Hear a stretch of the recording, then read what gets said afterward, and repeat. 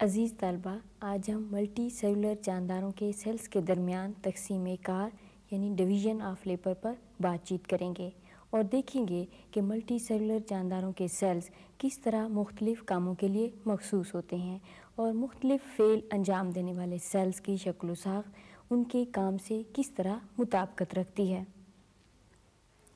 ये देखें, ये एक सरसों का पौधा है जो मल्टी सेलुलर है।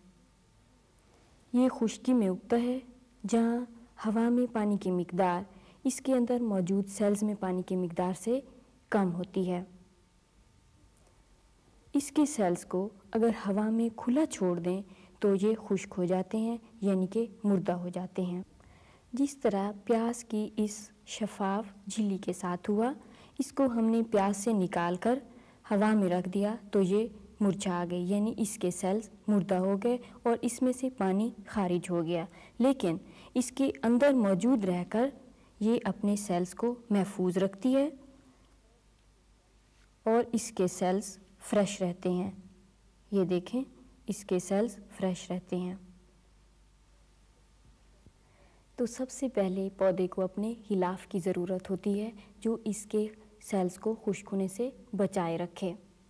ये गिलाफ क्यूटन नामी मादे से बना हुआ होता है, जो पौधे के सेल्स ही खारिज करते हैं। इसकी तह पौधे के सेल्स को खुश्क होने और जरासीम के हमलों से बचाती है। आइए शक्ल में देखते हैं। ये ब्लैक कलर की जो आपको लाइन आउटलाइन सी नज़र आ रही है तने और पत्तों के गिर्द, ये क्यूटिकल लेयर है, यानी कि पौधे का गिलाफ है। अगर हम इस पत्ते को फाड़ कर देखें तो इसमें क्यूटिकल लेयर नज़र आएगी। लेकिन इसके साथ क्यूटिकल लेयर्स बनाने वाले सेल्स भी नज़र आएँगे। इसको अगर माइक्रोस्कोप में देखें तो उसकी शक्ल कुछ इस तरह से वाजे होगी। ये सेल्स दरअसल पौधे का सबसे बैरूनी टिश्यू बनाते हैं। इस टिश्यू को एपिडर्मस कहते हैं। ये मुस्ततील शक्ल के सेल्स पर मुश्तमिल है। इन सेल्स के दरमियान केले की शक्ल के सेल जोड़ों की सूरत में नज़र आ रहे हैं। सेल्स के ये जोड़े एक सुराख के लिए दरवाज़ों का काम करते हैं। सुराख को स्टोमा कहते हैं। कई सुराख स्टोमेटा होते हैं। इनके रास्ते पौधे में ऑक्सीजन और कार्बन डाइऑक्साइड दाखिल और खारिज होती है और पानी खारिज होता है। सेल्स का जोड़ा गार्ड सेल्स कहलाता है और ये इस सुराख को खोलता, बंद करता और इसके साइज़ को कम या ज़्यादा करता है। अब अगर हम इस पत्ते का बहुत ही पतला और शफाफ अर्जी तराशा लें और उसे माइक्रोस्कोप की मदद से देखें तो हमें इस तरह के सेल्स नज़र आएँगे जो इस शक्ल में ज़ाहिर हैं। इसमें मुख्तलिफ़ शक्लों के सेल्स हैं। सबसे ऊपर वाले लेयर जो है जो ब्लैक सी नज़र आ रही है, ये क्यूटिकल लेयर है। इसके बाद बालाई एपिडर्मस के सेल्स हैं। इसके बाद ये मुस्ततील शक्ल के सेल्स हैं, जो क्लोरोफिल से भरपूर हैं। और ये सेल जो हैं, खुराक तैयार करते हैं। ख़ास तौर पर ये वाले सेल्स जो नेटवर्क सा बना रहे हैं ये सेल्स खुराक बनाने के अलावा गैसों की तरसील का काम भी करते हैं, यानी गैसों की आज़ादाना आमदोरफ्त पे मददगार साबित होते हैं। इसके अलावा गैसों की तरसील का काम भी करते हैं। इन सेल्स की तैयार करदा खुराक निशास्ता की सूरत में जमा रहती है, जिसको पौधा बवक्त ज़रूरत इस्तेमाल कर सकता है। पौधे के दो पत्तों को आयोडीन से रंगा गया है।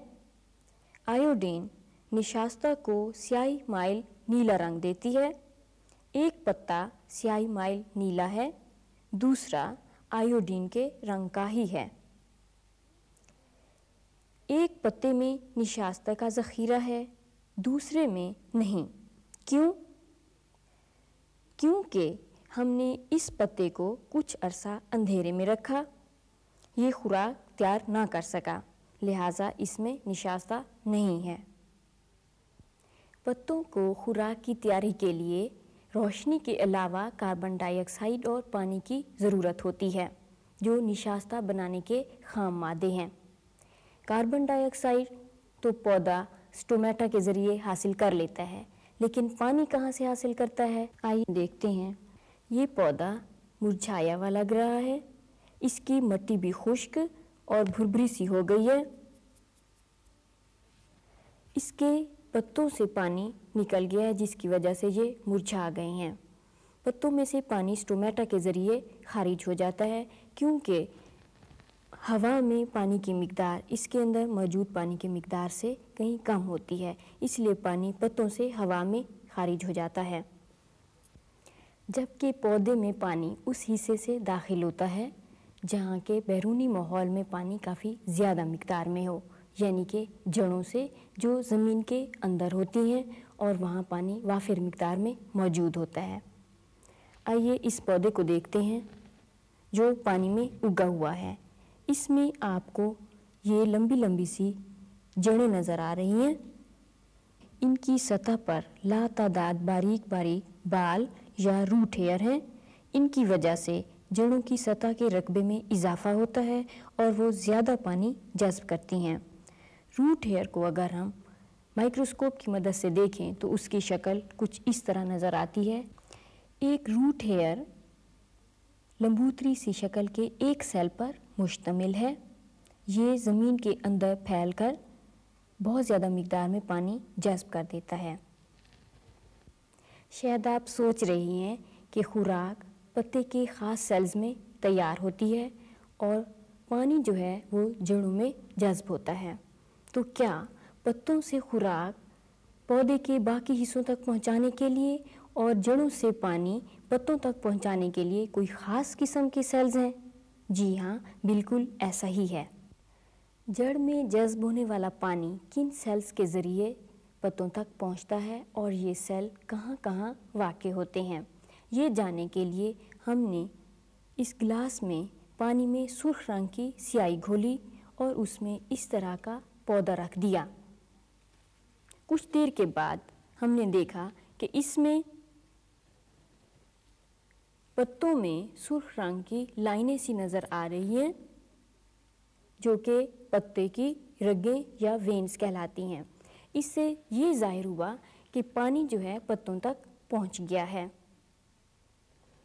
इस शाख का पतला सा अर्जी तराशा लें तो इसमें इस तरह के सुर्ख धब्बे नज़र आएँगे। ये धब्बे वो सेल्स हैं जिनके रास्ते पानी पत्ते तक पहुँचता है। पानी की तरसील के लिए मखसूस सेल्स के गिरोह या टिशू को जाइलम कहते हैं। इसी तरह खुराक की तरसील के लिए मखसूस सेल्स या गिरोह को फ्लोएम कहते हैं। आइए अब तने के अर्जी तराशा में इनकी वजाहत से शक्लें देखते हैं।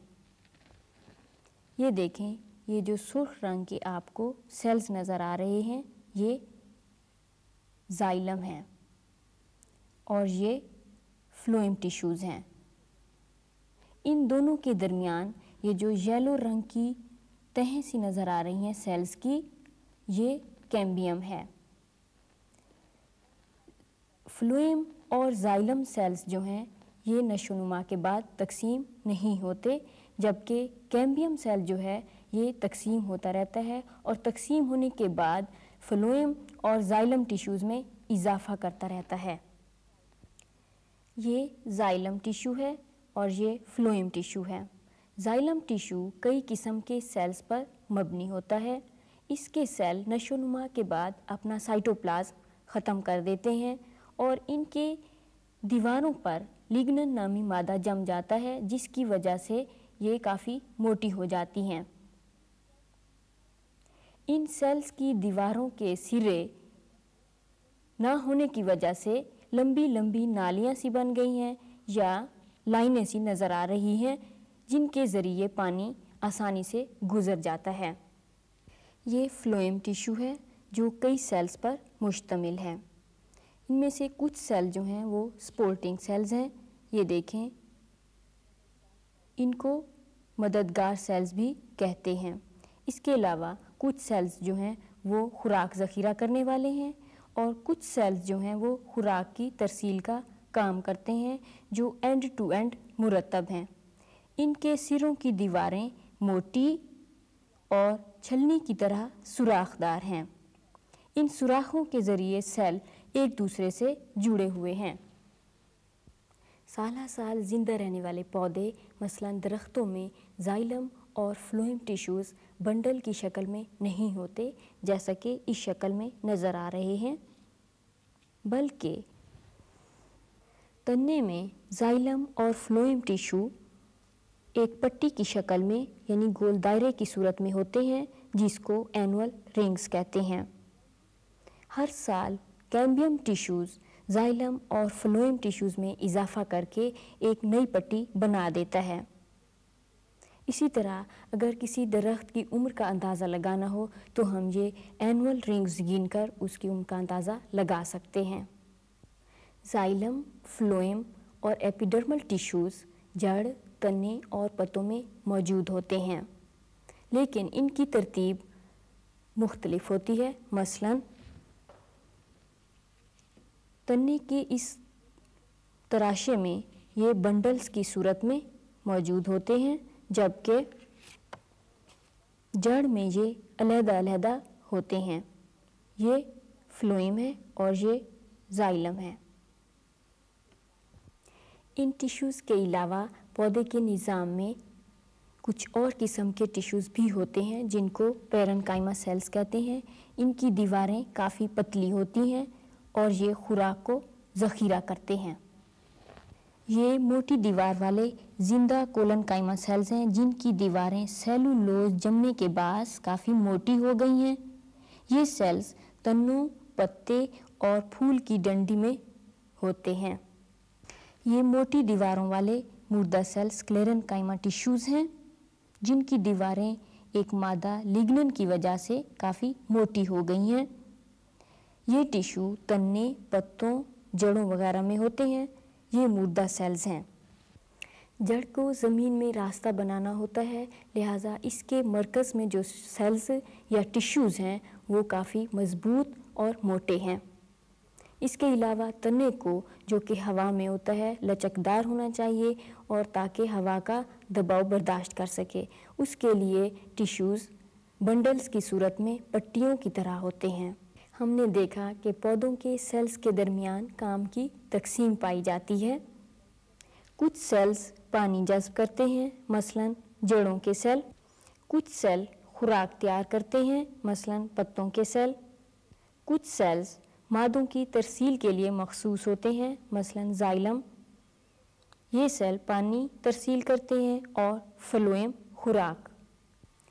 अज़ीज़ तलबा, आइए मल्टी सेलुलर जानवरों के सेल्स के दरमियान तकसीम कार का और उन सेल्स की शक्ल सूरत की उनके काम से मुताबकत का जायज़ा लेते हैं। मल्टी सेलुलर जानवरों को भी पौधों के सेल्स की तरह खुश्क हो जाने और जरासीम के हमले का ख़तरा होता है। इसके लिए उसे खिलाफ वाले सेल्स चाहिए होते हैं। इसके अलावा जानवर अपनी खुराक तैयार नहीं कर सकते उनको खुराक की तलाश में हरकत करना होती है। और खुराक को ऐसे मादों में कन्वर्ट करना होता है जो जिसम इस्तेमाल कर सके। और इन मादों से तोानाई हासिल करने के लिए ऑक्सीजन का सब सेल्स तक पहुँचना बहुत ज़रूरी है। और बात यहाँ ख़त्म नहीं होती, बल्कि जिसम के मुख्तलिफ़ हिस्सों के सेल्स का आपस में ताल्लुक़ और उनका बैरूनी माहौल से रबता भी बहुत अहम है। ताकि जिसम का निज़ाम, अंदरूनी और बैरूनी माहौल के ताल्लुक़ और बाहमी हम आहंगी से चल सके। अज़ीज़ तलबा, जिसम के अंदर बनने वाले बेकार मादों का अखराज भी बहुत ज़रूरी है और जानवरों का अपनी नस्ल में इजाफ़ा करना अपनी नस्ल की बका के लिए अहम है। इन तमाम कामों के लिए जिसम के अंदर मुख्तलिफ़ निज़ाम मौजूद हैं और हर निज़ाम मुख्तलिफ़ अज़ा पर मुश्तमिल होता है और हर उज़ मुख्तलिफ़ किस्म के टिशू से मिलकर बना हुआ होता है और हर टिशू मुख्तलिफ़ किस्म के सेल्स पर मबनी होता है और ये सेल्स मुख्तलिफ़ फेल अंजाम देते हैं। मल्टी सेलुलर जानवरों के जिसम के गिर्द खिलाफ ख़ास सेल्स की तहों की शक्ल में है। जिस तरह हमारे जिसम के गिर्द जल्द की सूरत में है, जल्द की ऊपर की सतह एपिथेलियल सेल्स की तहों पर मुश्तमिल है। जल्द की बैरूनी तह के सेल्स मुर्दा होते हैं और इनमें वाटरप्रूफ मादा कैरेटिन होता है, जो जिल्द को वाटरप्रूफ बनाता है। एपिथेलियल सेल्स जिसम का सिर्फ़ बैरूनी गिलाफ ही नहीं बनाते, बल्कि ये हमारे जिसम के कई हिस्सों का अस्तर या लाइनिंग्स भी बनाते हैं। एपिथेलियल सेल मुकाबनुमा, चिपटे और लंबूतरे भी होते हैं। इनमें तकसीम होने की सलाहियत होती है और जब पुराने सेल मुर्दा होकर झड़ जाते हैं तो तकसीम से बनने वाले नए सेल उनकी जगह ले लेते हैं। जिस तरह हमारी जिल्द के सेल या हमारी आंत का अस्तर बनाने वाले सेल्स की जगह नए सेल्स लेते रहते हैं। एपिथेलियल सेल्स कई किस्म के मखसूस अफ़ाल भी अंजाम देते हैं। कुछ सेल्स रतूबतें, मसलन एंजाइम्स, हार्मोन या म्यूकस अफराज करते हैं। मसलन मैदा का अस्तर बनाने वाले सेल्स एंजाइम्स अफराज करते हैं।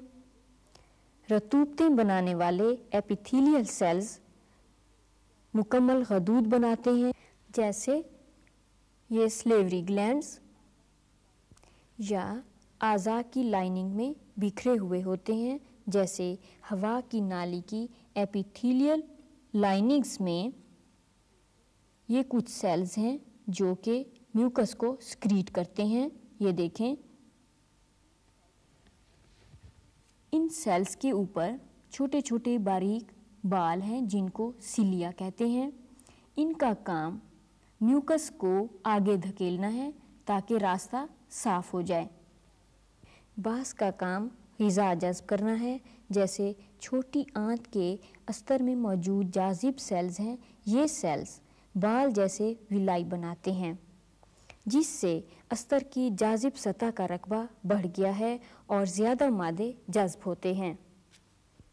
अस्तर और खिलाफ बनाने वाले टिश्यूज़ के अलावा कुछ और टिश्यूज़ भी होते हैं, जो मुख्तलिफ़ टिश्यूज़ को जोड़ने और बांधने का काम करते हैं। इन टिश्यूज़ को कनेक्टिव टिश्यूज़ कहते हैं। ये अपनी ही रतूबतों में पड़े रहते हैं। इनकी रतूबतों को मैट्रिक्स कहते हैं। ये देखें, ये एक टिशू की तस्वीर है। इसमें ये सेल्स अपनी रतूबतों में बिखरे हुए हैं। ये ब्लू रंग का जो मादा आपको नज़र आ रहा है, ये जेली की तरह है। इसके अलावा इसमें ये धागे नुमा चीज़ें जो आपको नज़र आ रही हैं, ये लचकदार और गैर लचकदार फाइबर्स हैं। इस किस्म के टिशू आम तौर पर दूसरे टिश्यूज़ को बांधने या पैकिंग का काम करते हैं। ये पौधों के पेरन कायमा टिश्यूज़ की तरह हैं। इसके अलावा कुछ कनेक्टिव टिश्यू ज़ख़म को मनमल करने का काम भी करते हैं। जब ज़ख़म के ऊपर से सेल्स ख़त्म हो जाते हैं तो ये टिश्यूज़ उनकी जगह ले लेते हैं। कनेक्टिव टिश्यूज़ पट्ठों को हड्डियों से बांधे रखने का काम भी करते हैं। जैसे इस शक्ल में ये एक मसल को हड्डी से जुड़ा हुआ दिखाया गया है। इन टिश्यूज़ में गैर लचकदार मादा या फाइबर्स होते हैं। इसको टेंडन्स कहते हैं। बास कनेक्टिव टिश्यूज़ में गैर लचकदार मादा भी होता है। ये हड्डियों को जोड़े रखने का काम करता है, इसको लिगामेंट्स कहते हैं। हड्डी के इस तराशे की शक्ल देखिए। ये सेल्स हैं। सेल्स के गेद ये मैट्रिक्स होता है। ये इन्हीं सेल्स ने ही खारिज किया है और ये सख्त हो जाता है, जिसकी वजह से हड्डी को सख्ती मिलती है। खून भी एक कनेक्टिव टिश्यू है। इसका मैट्रिक्स माया शक्ल में है, ताकि जिसम में दौरा करके और मादों की तरसील कर सके। इसके सेल्स सुर्ख और सफ़ेद होते हैं। सुर्ख सेल ऑक्सीजन की तरसील करते हैं और सफ़ेद सेल्स जरासीम को ख़त्म करते हैं। जिसम के अंदरूनी हिस्सों के दरमियान और बैरूनी माहौल से रबता रखने के लिए अलग अलग सेल्स मौजूद हैं, जिनको नर्व सेल्स कहते हैं। ये एक नर्व सेल है। नर्व सेल्स मिलकर नर्व टिश्यू बनाते हैं। इनमें से बाज़ बैरूनी माहौल से पैगाम दिमाग या हराम मगज़ तक लाते हैं। बाज़ दिमाग या हराम मगज़ से अहकाम मसल्स या पट्टों तक ले जाते हैं। मसल टिश्यूज़ भी ख़ास शक्ल के सेल्स से बने हैं। इनका काम हड्डियों को हरकत देना है। ये सेल सुकड़ कर अपनी असली हालत पर वापस आने की सलाहियत रखते हैं। इनके सुकड़ने से हड्डियाँ हरकत करती हैं। मसल टिश्यू लंबूतरी शक्ल के सेल्स पर मुश्तमिल हैं। इन सेल्स में बहुत से माइटोकांड्रिया होते हैं। जो सुकड़ने के लिए तवानाई फराहम करते हैं। इस मुर्ख को देखिए। इसमें आपको कई ऐसे टिश्यूज़ नज़र आ रहे होंगे जिनका ज़िक्र हमने किया। ये इसकी खाल है, जो एपिथीलियल और कनेक्टिव टिश्यू से बनी है। खाल के नीचे मसल टिश्यूज़ हैं, जो हड्डी के टिश्यू से जुड़े हुए हैं। ये सुर्ख मादा खून है, ये भी कनेक्टिव टिश्यू है। ये हराम मगज़ है, जो नर्व सेल्स पर मुश्तमिल है। अज़ीज़ तलबा, अब आपको अंदाज़ा हो गया होगा कि जानवरों और पौधों के जिसम के सेल्स में किस कदर तकसीम कार मौजूद है और इन सेल्स की शक्ल उनके फेल से किस कदर मुताबकत रखती है। इसके साथ ही इजाज़त दीजिए, अल्लाह हाफिज़।